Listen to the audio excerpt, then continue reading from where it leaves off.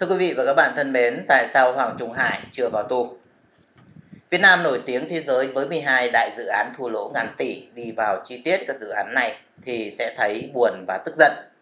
Nói chung Đảng và chính quyền đã đầu tư 64.000 tỷ đồng cho 12 đại dự án. Ngày nay, sau khi các dự án được tiến hành hơn 10 năm, tổng cộng số nợ phải trả cho 12 đại dự án này là 58.000 tỷ đồng. Hàng ngày, tiền đóng thuế của nhân dân bị lấy ra để trả cho số nợ đó và tiền lãi của nó. Dự án gang thép Thái Nguyên giai đoạn 2 và ethanol Phú Thọ vẫn chưa hoàn thành. Nhà máy bột giấy Phương Nam nói là đã hoàn thành nhưng không làm ra được sản phẩm. Ethanol Bình Phước chạy được 3 năm thì ngừng vì sản xuất làm ra không ai mua. Đã đến hạn trả nợ và lãi mà không sản xuất thì lấy tiền đâu mà trả. Gang thép Thái Nguyên 2 đang trả lãi 40 tỷ đồng mỗi tháng. Các dự án đi vào sản xuất bị thua lỗ nhiều hơn có lời. Nhà máy đạm Ninh Bình năm 2016 bị lỗ 1.200 tỷ, tổng lỗ lũy kế tới nay là 4.000 tỷ. Đạm Hà Bắc năm 2016 bị lỗ 1.040 tỷ, tổng lỗ lũy kế tới nay là 3.000 tỷ. Sơ sợi Đình Vũ lỗ trong 3 năm 2012 đến 2014 là 1.400 tỷ, tổng lỗ lũy kế tới nay là 5.100 tỷ. Càng kể ra càng thấy buồn và tức giận. Đảng Cộng sản đang có không còn có khả năng để điều hành kinh tế thì hãy rút lui để cho người khác làm việc. Nhìn qua các dự án có một cái tên xuất hiện nhiều lần đó là Hoàng Trung Hải. Tháng 5 năm 2018, Hải phát lệnh khởi công đạm Ninh Bình. Tháng 11 năm 2010, Hải phát lệnh khởi công đạm Hà Bắc. Tháng 5 2012, Khải Hải đến kiểm tra thi công bột giấy phương Nam. Tháng 11 năm 2014, Hải ký văn bản số 2339 cho đội vốn gang thép Thái Nguyên 2 thêm 4.200 tỷ đồng. Tháng 11 năm 2015, Hải khánh thành nhà máy phân bón DAP2 Lào Cai. Hải sinh ra ở tỉnh Thái Bình, lớn lên theo học Đại học Bách khoa Hà Nội. Cha của Hải là thông dịch viên cho các cố vấn Trung Quốc tại Việt Nam. Trong những năm 1950, Hải gia nhập Đảng Cộng sản Việt Nam năm 31 tuổi, khá trễ so với các đảng viên cùng thời. Làm đảng viên được 10 năm thì Hải nhảy vào Ban chấp hành Trung ương Đảng. Hải phóng lên nhanh hơn cả hỏa tiễn S-400. Sự bất thường này làm cho nhiều người nghi ngờ là Hải được một thế lực ngoại bang đưa lên. Hải đã làm Bộ trưởng Bộ Công nghiệp rồi Phó Thủ tướng. Hải đã ký văn bản cho tiến hành nhiều dự án. Các đảng viên hoạt động trong doanh nghiệp cho Hải biệt hiệu là ông béo nửa triệu đô. Trả ông ta nửa triệu đô la hơn 10 tỷ đồng thì được ký bật đèn xanh cho dự án, không cần biết dự án tốt hay xấu. Bên cạnh các dự án thua lỗ, Hải đã ký công văn số 869 trên TTG vào tháng 6 năm 2008 đồng ý cho dự án gang thép Formosa ở Hà Tĩnh. Hải cho ra công văn số 5224 VPCP ngày 8 tháng 8 năm 2009 để thu trạm thu phí BOT Bắc Thăng Long nội bài của công ty Viettrasim Mex 8 thu thêm phí của tuyến đường tránh Vĩnh Yên. Người dân không đi tuyến đường tránh cũng phải trả tiền, phải họp hành thúc đẩy 20 dự án nhiệt điện than từ Quảng Ninh đến Bình Thuận. Chưa kể những tham vọng và tham nhũng khác, Hải đã lợi dụng chức vụ để ký mấy chục dự án, bỏ túi riêng hàng trăm tỷ đồng. Các dự án thua lỗ ngàn tỷ mà Hải đã ký cho tiến hành, ai là người phải trả nợ. Đem về những nhà máy chạy bằng than đá gây ô nhiễm môi trường, ai là người đang hít thở và bụi độc. Hải là đảng viên là phó thủ tướng của Cộng sản Việt Nam, nhưng trong các giao dịch với nhà thầu Trung Quốc thì Hải không lo bảo vệ quyền lợi của Việt Nam. Hải chỉ lo đôn đốc phía Việt Nam trả tiền cho Trung Cộng. Nhà máy đạm Ninh Bình vay 5.000 tỷ đồng từ Eximbank Trung Quốc nên phải chỉ định tổng thầu hoàn cầu của Trung Quốc. Máy móc sản xuất phải mua từ Trung Quốc bị chậm trễ, nhà máy muốn chậm trả nợ. Tháng 2 năm 2015, Hải yêu cầu Vinachem phải trả nợ, vay và lãi cho Trung Quốc. Dự án gang thép Thái Nguyên 2 đang tiến hành thì tổng thầu MCC của Trung Quốc dừng thi công vào năm 2013 và đắp chiếu từ đó đến nay. Tháng 6 năm 2015, Hải cho ra văn bản số 196 trả tiền cho MCC, mặc dù các hạng mục chưa hoàn thành và máy móc đã bị dì xét. Hải tham nhũng không ồn nào, Hải ăn khúc đầu rồi để các đồng chí khác ăn khúc tiếp và những kẻ gánh luôn trách nhiệm. Hải làm việc lặng lẽ giống như một điệp viên chiến lược. Hải mở cửa cho dự án rồi biến mất. Các mắt xích khác trong đường dây sẽ làm tiếp. Hải là một kẻ nguy hiểm. Mấy năm này, Tổng tịch Nguyễn Phú Trọng khoe là cái có cái lò đốt tham nhũng. Hải Béo đã tham nhũng mấy ngàn tỷ đồng. Trọng có đốt Hải Béo hay không? Tháng 1 năm 2020, Bộ Chính trị Đảng Cộng sản Việt Nam quyết định kỷ luật Hoàng Trung Hải với hình thức cảnh cáo trên giấy. Hải không bị phạt một roi, không trả lại một đồng, không ở tù một ngày, vẫn là ủy viên Bộ Chính trị. Trọng mang chức tổng tịch lớn nhất của Cộng sản Việt Nam, nhưng Trọng không có quyền qua mặt những người đứng sau lưng Hoàng Trung Hải. Trọng không đốt được Hoàng Trung Hải. Ban Kiểm tra Trung ương của Đảng Cộng sản Việt Nam khoe là đã kỷ luật mấy ngàn đảng viên tham nhũng. Nhìn kỹ thì thấy một số, một thiểu số nhỏ bị phạt tù, rất ít người trả lại tiền đã tham nhũng.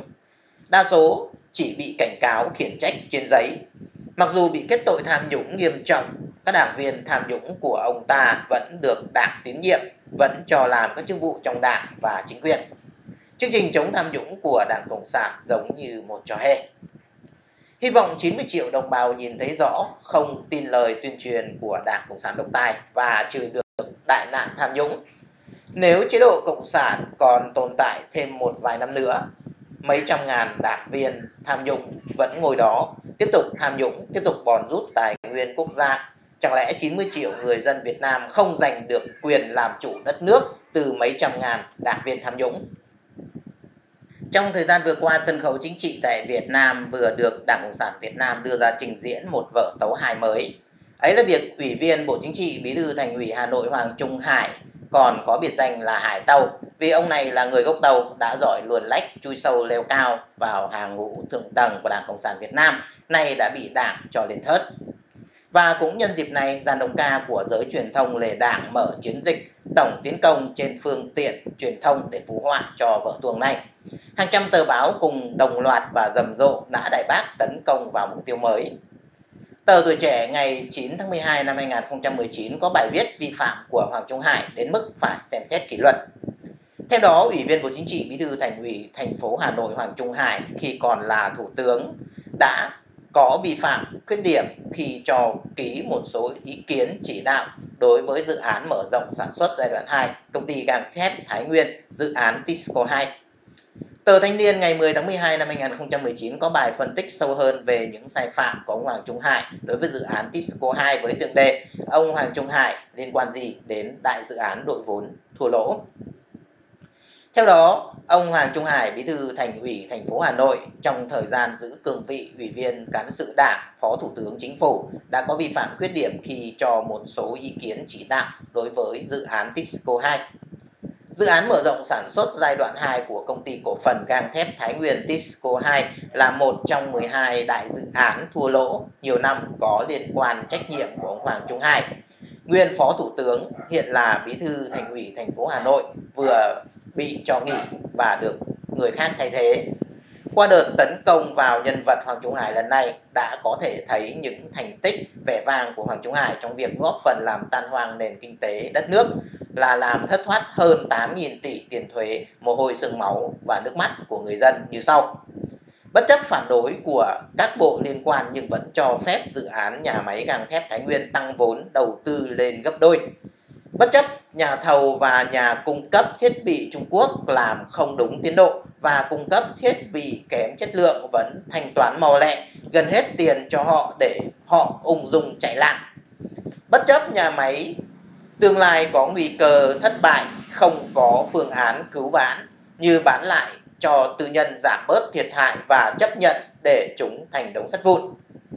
Điều lạ lùng là những sai phạm của Hoàng Trung Hải không ở nhiệm kỳ này mà là từ nhiệm kỳ trước khi Hoàng Trung Hải còn làm Phó Thủ tướng Chính phủ thời của Nguyễn Tân Dũng còn làm Thủ tướng. Vậy mà qua bao năm trời Hoàng Trung Hải vẫn không hề bị đụng đến cái lông chân, ngược lại dưới sự lãnh đạo sáng suốt và tài tình của Đảng đã đưa đất nước đi từ thắng lợi này đến thắng lợi khác với Đại hội lần thứ 12 của Đảng Cộng sản Việt Nam được tổ chức vào tháng 1 năm 2016 với 1.510 đại biểu tham dự là những đảng viên ưu tú nhất của Đảng Cộng sản Việt Nam, đại diện cho hơn 4,5 triệu đảng viên của cả nước. Hoàng Trung Hải từ Ủy viên Trung ương với những sai phạm động trời như thế lại được bầu vào Bộ Chính trị và giữ chức Bí thư Thành ủy thành phố Hà Nội là thủ đô ngàn năm văn hiến và là trái tim yêu dấu của cả nước theo cách nói của người Cộng sản. Điều lạ lùng nữa là đa số các ủy viên trung ương hiện nay chính là những người đã bỏ phiếu và nhiệt tình ủng hộ cho Đinh La Thăng và Hoàng Trung Hải vào Bộ Chính trị tại Đại hội 12. Để rồi họ làm vua hai đầu đất nước và có cái kết giống nhau là cả hai đều là ủy viên, đều bị Ủy ban Kiểm tra Trung ương tuyên là những tội đầu.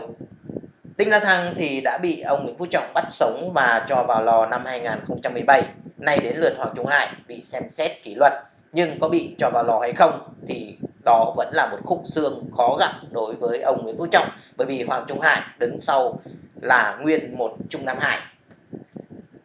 Chúng ta đều biết từ thời của Nguyễn Tân Dũng còn là thủ tướng và cánh tay đắc lực của Bộ trưởng Công Thương Vũ Huy Hoàng và đồng bọn đã thao túng và đục khoét vô tội vạ ngân sách quốc gia đã để lại di sản khổng lồ là 12 đại dự án thua lỗ 58.000 tỷ làm khánh kiện đất nước gồm Thứ nhất, nhà máy sản xuất sơ sợi Đình Vũ. Thứ hai, nhà máy bột giấy Phương Nam. Thứ ba, nhà máy đạm Ninh Bình. Thứ tư, nhà máy đạm Hà Bắc.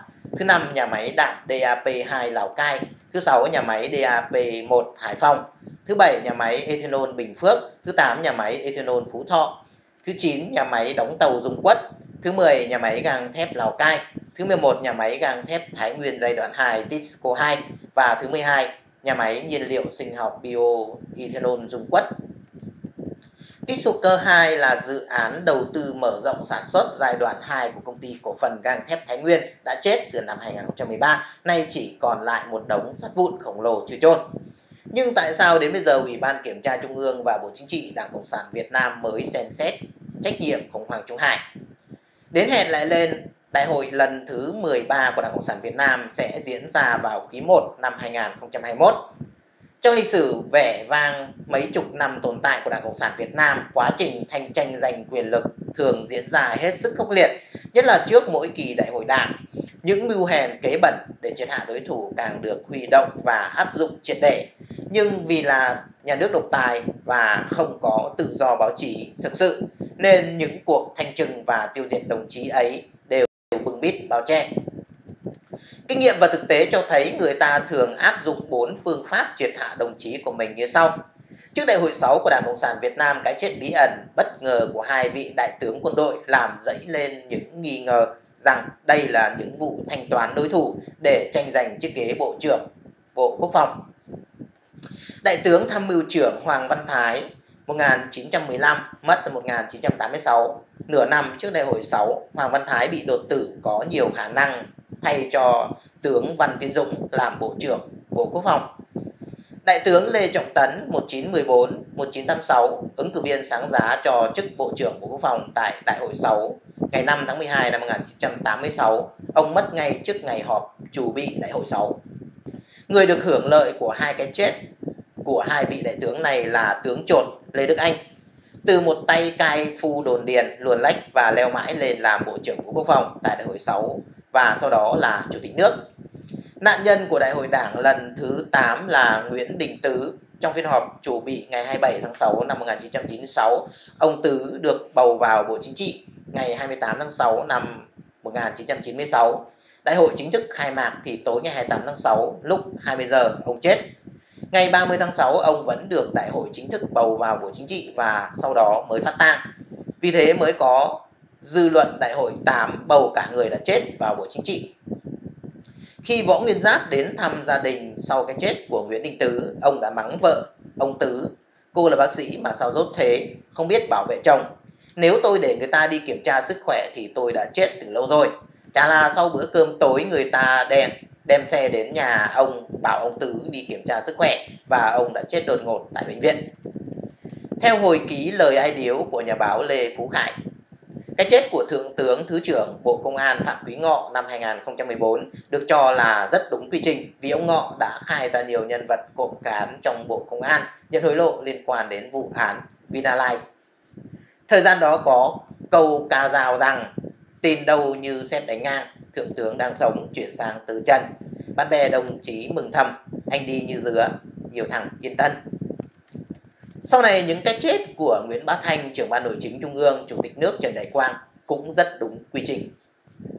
Ngày 7 tháng 8 năm 2016, chỉ sau 3 tháng nhậm chức tư lệnh quân khu 2 Ủy viên Trung ương Đảng, Thiếu tướng quân đội Lê Xuân Duy đã đột ngột qua đời ở tuổi 54. Báo chí nhà nước đưa tin tướng Duy từ trần do lâm bệnh hiểm nghèo. Năm 2005, chiếc máy bay trực thăng chở Trung tướng Trương Đình Thanh, tư lệnh quân khu 4, Thiếu tướng Nguyễn Bá Tuấn, Phó Tư lệnh Tham mưu trưởng quân khu 4 cùng với 15 người trên máy bay đều tử nạn đầy nghi ngờ tại đảo Hòn Mê, Thanh Hóa. Gần đây nhất là vụ tai nạn bất ngờ dẫn đến cái chết của ông Lê Hải An được cho là ngã từ tầng 8 trụ sở Bộ Giáo dục. Ông An được bổ nhiệm Thứ trưởng Bộ Giáo dục và Đào tạo ngày vào tháng 2 năm 2018 và mới được bầu giữ chức bí thư đảng ủy Bộ Giáo dục và Đào tạo thay cho Phùng Xuân Nhạ và trong nhiệm kỳ tới sẽ thay Phùng Xuân Nhạ làm Bộ trưởng Bộ Giáo dục và Đào tạo. Nếu không có cơ hội để đầu độc đối thủ thì người ta sẽ ngụy tạo chứng cứ để tiêu diệt lẫn nhau. Nổi bật nhất là vụ án xét lại chống đảng năm 1967, khoảng 300 người bị bắt trong đó có 30 nhân vật cao cấp. Nạn nhân điển hình nhất cho việc ngụy tạo chứng cứ đó là Võ Nguyên Giáp, được cho là khai quốc công thần của Đảng Cộng sản, thể hiện qua vụ năm châu sáu xứ của Tổng cục 2 tình báo quân đội nhằm triệt hạ tướng Giáp. Trở lại với nhân vật Hoàng Trung Hải và vụ kỷ luật hiện nay. Không phải ngẫu nhiên mà Hoàng Trung Hải đưa lên thớt trong thời gian này. Đây là một mũi tên nhắm vào nhiều mục đích. Hiện nay trong nội bộ Đảng Cộng sản Việt Nam đang diễn ra cuộc cạnh tranh quyết liệt cho chức Tổng Bí thư và Thủ tướng Chính phủ trong nhiệm kỳ Đại hội 13 sắp tới. Nguyễn Phú Trọng tuy danh chưa liệt nhưng thân thì đã bại, có lẽ sẽ hết vài trò lịch sử trong nhiệm kỳ tới. Ứng viên sáng giá cho chức Tổng Bí thư Trần Quốc Vượng, Thường trực Ban Bí thư và Thủ tướng Nguyễn Xuân Phúc vì trưởng ban tổ chức Trung ương Phạm Minh Chính đã bị các đồng chí của mình cho ngã ngựa qua vụ chùa Ba Vàng, nơi được cho là chính góp vốn 100 tỷ nhưng đã để cho trụ trì Thích Trúc Thái Minh lộng hành bằng các thủ đoạn buôn thần bán thánh qua hình thức giải vong, trục vong và giải oan gia trái chủ. Những hoạt động này đều trái với giáo lý nhà Phật. Phe Nghệ Tĩnh là lực lượng mạnh nhất trong Ban chấp hành Trung ương hiện nay so với các địa phương khác lại được sự hợp tác đắc lực của cựu Chủ tịch nước Trương Tấn Sang vì Trương Tấn Sang vốn gốc Đức Thọ Hà Tĩnh Phe này đang muốn đưa Vương Đình Huệ làm Phó Thủ tướng thay cho Phúc Niệm. Muốn vậy phải đưa Phúc Niệm lên làm Tổng Bí thư hoặc Chủ tịch nước. Hai chức này lâu nay Hoàng Trung Hải đang là ứng viên sáng giá. Bên cạnh đó đánh vào Hoàng Trung Hải lần này cũng hợp với ý của ông Nguyễn Phú Trọng vì sẽ làm nổi bật thêm những sai phạm của cựu Bộ trưởng Công Thương Vũ Huy Hoàng là một trong những tay chân đắc lực của ba Dũng, Nguyễn Tấn Dũng. Chỉ sau khi Đinh La Thăng mà thôi, Ông Trọng tuy là đã lột hết áo của Vũ Huy Hoàng, nhưng chưa tống cổ được em này, theo chân Đinh Đa Thăng vào lò thì ăn chưa ngon, ngủ chưa yên. Nếu Vũ Huy Hoàng bị đưa lên bàn mổ lần nữa, thì sẽ làm lung lay đến tận gốc rễ của nhà bà X. Kẻ thù không đội trời chung với ông Nguyễn Phú Trọng. Nếu đánh đổ được bà X, Nguyễn Tân Dũng như mong muốn của ông Trọng, thì Tư Sang cũng rất hả hê vì đã trả được mối thù xưa. Vì bà Dũng là đối thủ nặng ký tranh giành chiếc ghế Tổng Bí thư tại Đại hội 11 năm 2011 với Từ Sang. Lúc đó Từ Sang đang là thường trực ban bí thư, Ba Dũng là đương kim thủ tướng. Cuộc đấu đá này cả hai đều thua và ngư ông đắc lợi chính là Chủ tịch Quốc hội Nguyễn Phú Trọng, kẻ yếu thế nhất trong cuộc đấu tay ba này. Nhưng vì để ổn định tình hình và giữ gìn sự đoàn kết trong đảng, nên ông Trọng được chọn làm Tổng Bí thư.